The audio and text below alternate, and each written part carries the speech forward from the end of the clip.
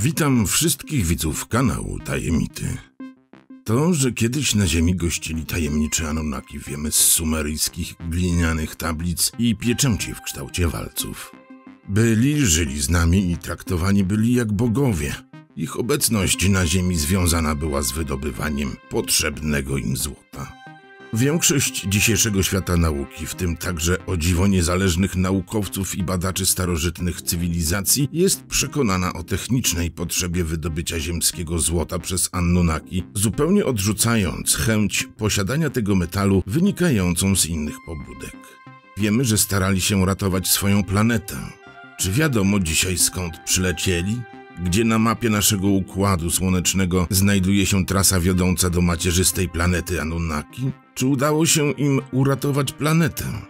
A może cywilizacja, którą tworzyli już nie istnieje i niknie o niej pamięć wśród innych minionych kosmicznych wydarzeń? Byli dla nas przybyszami z gwiazd, a dzisiaj nie ma zbytniego znaczenia, czy znamy ich jako Anunnaki, czy nazywamy ich starożytnymi astronautami czy bogami. W istocie są to imiona tych, których przypisujemy grupie niezmiernie rozwiniętych obcych istot, które odwiedziły naszą planetę w odległej przeszłości. Naszym zdaniem, a potwierdzają to starożytne teksty, zasiali na Ziemi inteligentne życie. To właśnie Anunnaki przez wiele lat pomagali ludziom, przekazując wiedzę do budowy największych budowli oraz wiedzę z zakresu astronomii, medycyny i architektury. Pomogli w rozwoju rolnictwa i wielu innych przydatnych rzeczy, które są niezbędne do poprawy jakości codziennego życia. Jeśli Anunnaki byli obecni na Ziemi kilka tysięcy lat temu, to czy mogą powrócić i otwarcie zadeklarować swoją obecność? To pytanie niepokoi wielu zwolenników teorii starożytnych astronautów, którzy rzekomo odwiedzili naszą planetę u zarania pojawienia się życia i towarzyszyli naszemu rozwojowi. Szczerze mówiąc, nie ma dzisiaj odpowiedzi na to niezwykłe pytanie. Czy cała nasza wiedza w tym zakresie zbudowana jest na własnych przemyśleniach i pomysłach, które oparte są na starożytnych legendach? Wiedza zgromadzona na całym świecie, a to wiele, wiele setek dowodów, zapewnia nas o prehistorycznych wizytach na planecie obcych istot a jedyne co możemy zrobić w poszukiwaniu odpowiedzi to studiowanie świętych tekstów, starożytnych mitów i legend, petroglifów i tych niesamowitych starożytnych pomników, których nie jesteśmy w stanie zbudować nawet przy pomocy naszych najbardziej zaawansowanych technologii. Być może dogłębna naukowa analiza starożytnych artefaktów i bezstronna opinia naukowców pozwoli pełniej odpowiedzieć na pytanie o Anunnaki, o tych, których uważamy za bogów. Może wtedy zrozumiemy, co nasi przodkowie próbowali nam powiedzieć w swoich zapisach. Co by było, gdyby w swoich przesłaniach starali się przekazać przyszłym pokoleniom dowody swoich spotkań z wysoce rozwiniętymi istotami z kosmosu, które pewnego dnia przyjdą ponownie?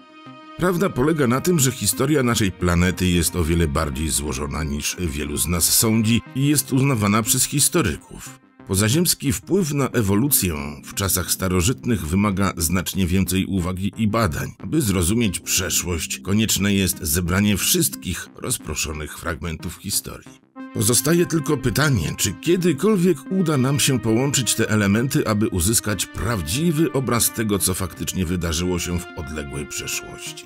Czy nasz rozwój naprawdę odbywał się pod wpływem obcej inteligencji? A jeśli tak, to dlaczego obcy nas później opuścili? Jeśli chodzi o starożytnych astronautów, wielu z nas wierzy, że pewnego dnia powrócą, ale to epokowe wydarzenie nastąpi we właściwym czasie i godzinie. Stąd ciekawa myśl. Czy nasi twórcy monitorują rozwój naszego gatunku i oceniają postępy? Najprawdopodobniej wydaje nam się, że myśląc o czasie powrotu Anunnaki bogów, musimy wziąć pod uwagę długość życia naszych twórców. Jest to naprawdę bardzo ważne dla zrozumienia problemu, który ludzie obecnie badają. Starożytne zapisy mówią nam, że różne gatunki humanoidalnych stworzeń żyjących we wszechświecie mają różną długość życia. Niektóre z nich żyją dłużej, inne są krótsze, a ludzie mają niski wiek. Średnia długość życia humanoidów żyjących poza Ziemią wynosi około 10 tysięcy lat. Nawiasem mówiąc, to jeden z powodów, dla których bogowie w oczach człowieka wyglądają nieśmiertelnie.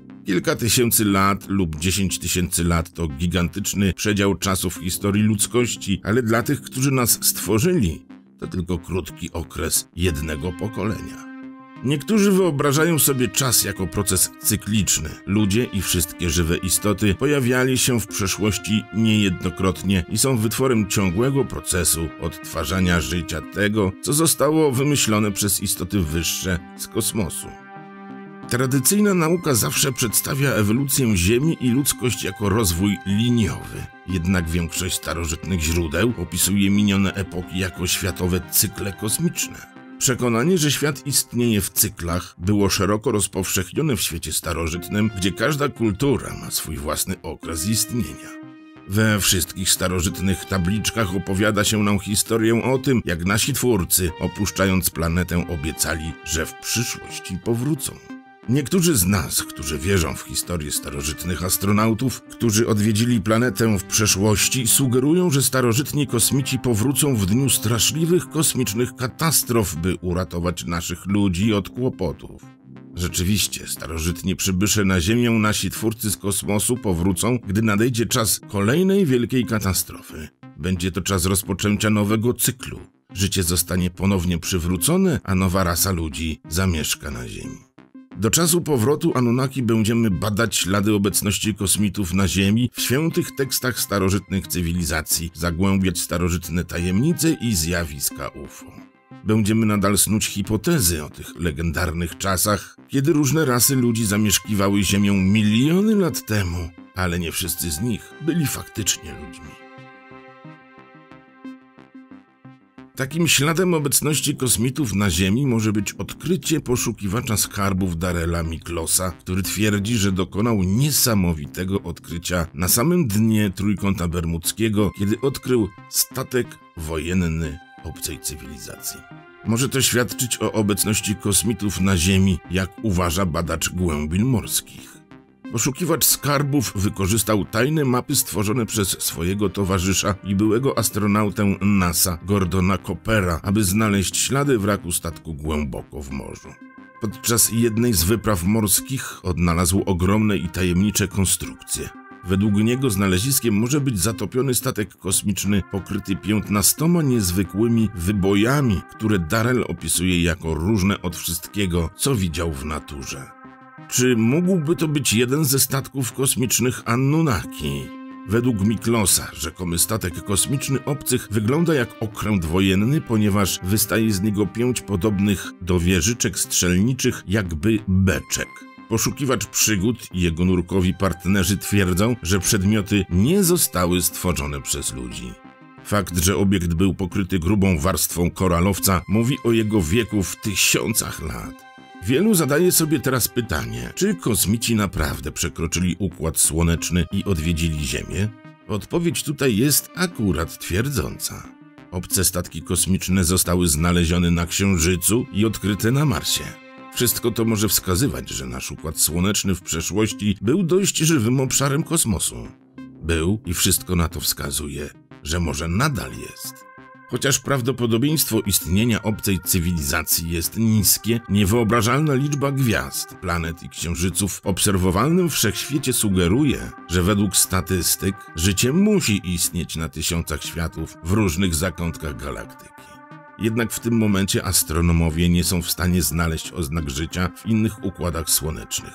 Zaczynamy nawet myśleć, czy nie przeszkadza nam w tym jakieś kosmiczne prawo lub na przykład wiry antygrawitacyjne. Gdzieś tam w kosmosie może znajdować się cywilizacja, która już raz była na Ziemi. A może czekanie na ich powrót jest bezcelowe? Może zostawili nas w momencie, w którym ładownie ich statków kosmicznych były już pełne złota, a my jako bioroboty do jego wydobycia staliśmy się zupełnie niepotrzebni i opuszczeni? Samotni stworzyliśmy sobie całą kulturę w oparciu o ich cywilizację kosmiczną i ciągle czekamy na powrót Anunnaki.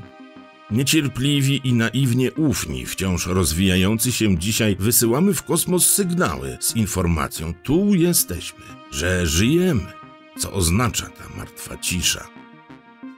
Poszukiwania inteligentnego życia przez organizacje kosmiczne nie dają realnych rezultatów. Jednak fizyk i teoretyk Michio Kaku zapewnił, że kontakt z kosmitami jest znacznie bliższy niż sądzą sceptycy. Sugeruje, że już w tym stuleciu możemy nawiązać pierwsze połączenie. Wielu poszukiwaczy życia pozaziemskiego wierzy, że ludzkość będzie w stanie wykryć inteligentną pozaziemską cywilizację, która będzie reagować na sygnały radiowe, które my wysyłamy w kosmos. Najważniejsze jest to, że kosmici potrafią rozszyfrować nasz język w celu określenia, z jaką cywilizacją się komunikują. Ale czy nasz głos dotrze do Anunnaki? A może oni już nas nie pamiętają i mogą potraktować jak wroga? Nieżyjący już brytyjski astrofizyk Stephen Hawking również mówił o poszukiwaniu życia pozaziemskiego lub tych, co nas na Ziemi pozostawili, wzlatując do gwiazd. Z jego punktu widzenia ludzkość powinna przestać szukać kontaktów z istotami z innych planet. Zdaniem profesora spotkanie z kosmitami może stanowić realne zagrożenie dla całej ludzkości. Jakie cywilizacje pozaziemskie mogą istnieć w kosmosie? W 1964 roku Nikołaj Siemionowicz Kardasziew, astrofizyk Związku Radzieckiego, opracował rodzaj listy znanej jako skala Kardasziewa. Naukowiec był w stanie zmierzyć ewolucję technologiczną cywilizacji pozaziemskich i nasłuchiwać oznak ich rozwoju. Co zaskakujące, do tego czasu cywilizacje kosmiczne, które spełniają przynajmniej częściowe wymagania do odkrycia, nie istnieją, przynajmniej w obserwowanej przestrzeni. Sami kosmici, potencjalnie egzystujący gdzieś tam, też nie spieszą się z odwiedzinami. Ale sądząc po stwierdzeniach ufologii, do niedawna przez nasz układ słoneczny biegła dość ruchliwa trasa kosmiczna. Co więc stało się z pozaziemską cywilizacją i dlaczego ich statki leżą w zrujnowanych szczątkach na dnie morskim naszej planety, a potężne kosmodromy leżące na płaskowyżach wietrzeją smagane przez wysokogórskie wiatry? Odpowiedź prawdopodobnie leży w naszej słabej znajomości układu słonecznego i tego, co się dzieje poza nim.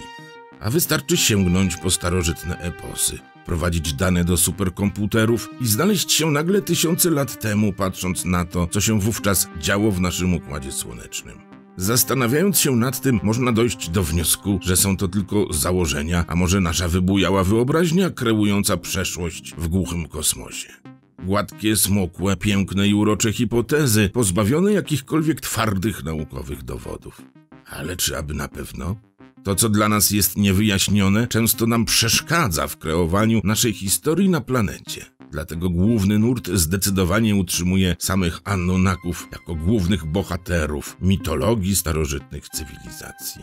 Jednak co do ich obecności na Ziemi nie ma dzisiaj wątpliwości i spychanie ich tylko do bohaterów mitologii starożytnej cywilizacji Sumerów nie ma najmniejszego sensu. To po prostu się nie uda.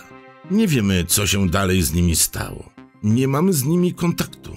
Być może kiedyś był, biorąc pod uwagę historię o różnych arkach, urnach, przedmiotach, w których niby to żyły gadające duchy.